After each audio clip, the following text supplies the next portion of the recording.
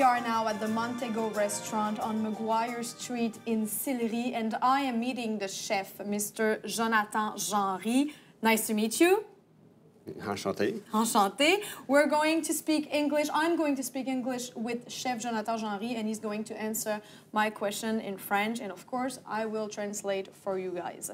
Chef Jonathan Genry, I would like, first of all, to talk about your experience here at the Montego because you've been part of the team here for 15 years. You started at the very beginning of your career in the kitchens here, and you've learned a lot. Oui, effectivement, je travaille ici euh, depuis au moins une quinzaine d'années. Donc, euh, mon cheminement a commencé euh, presque au bas de l'échelle et graduellement, j'ai gradué jusqu'au poste de chef. And you've been chef here for the past four years? Yes, exactly. So Chef Jonathan started here at the very beginning and he went up to finally to become the chef of the restaurant. It was four years ago. Chef Jonathan, uh, tell me about your inspiration because here at the Montego, we're always talking about a sunny cooking, sunny recipes. We're almost traveling with the menu. We're going a little bit in Italy, a little bit in California, in uh, Asia as well. Where did you get this inspiration to create such a sunny and traveling menu? Ben, la, la chose la plus importante, c'est l'équipe. On travaille en équipe. J'ai une brigade qui travaille avec moi, qui, euh, qui m'aide, qui, qui, qui trouve les recettes, on compose ensemble. Tout est un travail d'équipe à bord. Ensuite, euh, Let me translate that first. The, the most important thing is the teamwork. Um, Chef Jonathan Genry is working with people, a lot of people. I think you told me around 15 uh, people here in Oui, the oui, kitchen. exactement. It's a big team, and they always get together to exchange ideas. So they, they share the inspiration to create and to recreate, reinvent the menu. Exactement.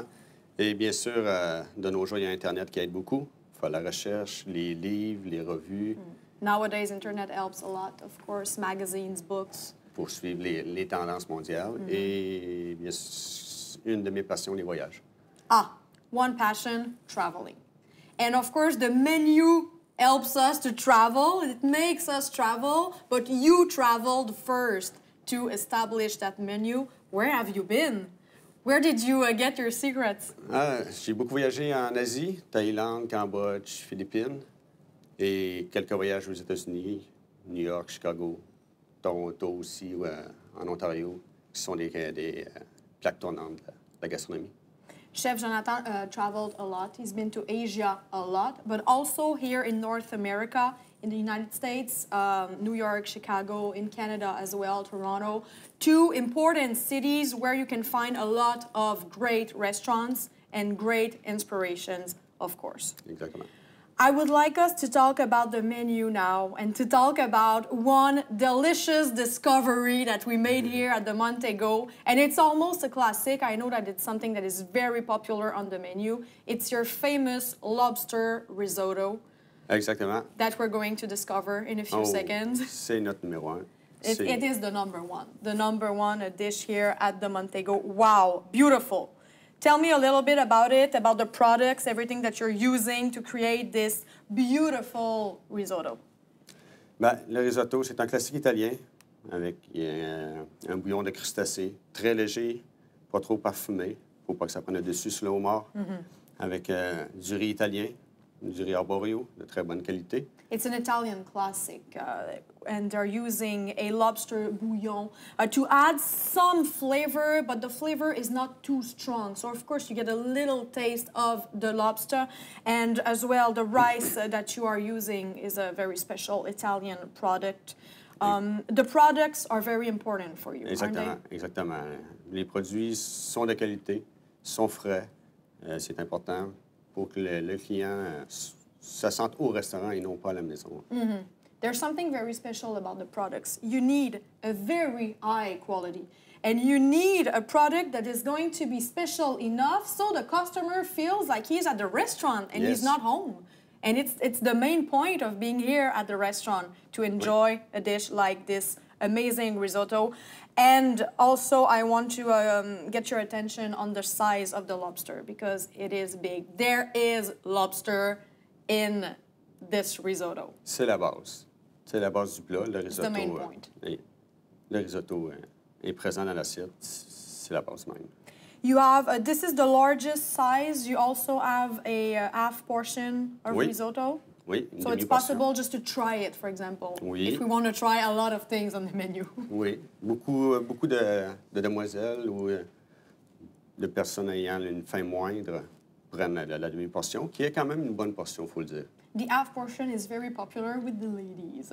Now, let's talk about fish. Still, we're going to discover the black sea bass, um, which is from Chile, a beautiful, very thick fish that uh, you um, that that you like to work with. I think because I, it's a light fish, but light. I'm talking about the flavor. But you can add the salsa and add some in- ingredients to play with the recipe, to play with the flavors. Oui, c'est important pour que le- le- le- les saveurs se mélangent avec le poisson. Une petite ici, on a une euh, salsa de type méditerranéenne, tomates séchées, euh, olives, calamata, champignons, du sel de champignons. You have a Mediterranean salsa with uh, tomatoes, dry, sun-dried tomatoes, uh, kalamata, um, olives, uh, mushrooms as well. And Chef Jonathan was telling me that what is interesting here is the science of mixing the flavor, working with the flavor and the fish to get this perfect balance. Exactement. C'est sûr qu'il est important de ne pas avoir une, une saveur trop dominante pour atténuer le, le goût du poisson. It's important not to get any flavor that would be too strong, and then that would uh, kind of um, al- almost kill the flavor of the fish. It's important to keep it. Uh, of course, there is fish on the menu, there is lobster as well, but the meat is also very important. Oui. And when we discover the meat and when we discover our next dish, it is a little bit of France that we are discovering. here. C'est notre euh, joue de veau braisé à la bourguignonne. It's the veal cheek À la bourguignonne. cooked à la bourguignonne. So here you recognize France, of course. Yeah. Euh, c'est une viande extrêmement tendre, vraiment savoureuse. Very tasty, tender meat. Euh, à, à ma connaissance, c'est probablement la viande la plus tendre, juteuse euh, qu'on puisse manger. Probably the most tender meat ever that you find here on the menu. And it's part of the comfy food because, of course, we're traveling through California, a sunny cooking, Italy, uh, Greece. But we also get a part of this very typical French and uh, um, well, let's call it the Quebecers cooking. Very comfy food, and it was it was important for you to get that on the menu as well. Oui, oui, effectivement. Puis souvent, des soirées plus fraîches ou euh, plus monotones. Yeah. Enfin, c'est plus, euh, c'est très réconfortant de, de manger quelque chose de, sais, de, de- comment- comme vous dites, de, de comfort food. Yeah, when it gets cold here in Quebec, there's always something to warm you up here at Montego. Very quickly, I want us to discover the sweet part of the menu because it is so important, the dessert, and I know that you have you you kind of reinvented two classics. So the key lime pie here that we have, beautiful, and this is the millefeuille. Oui. So millefeuille, very French pastry that we think we know, but to look at this plate, it looks very modern and creative. Oui, c'est notre millefeuille façon Montego. Les gens adorent.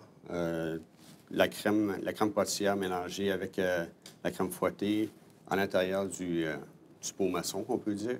Et la pâte feuilletée, son, son crémage, euh, qu'on peut faire comme une trempette. Mm, so a little cream, so you can basically dip your millefeuille in the cream. A classic, but that they like to uh, reinvent the Montego way. And the key lime pie here that is just so beautiful. Thank you very much, Chef Jonathan. You're welcome.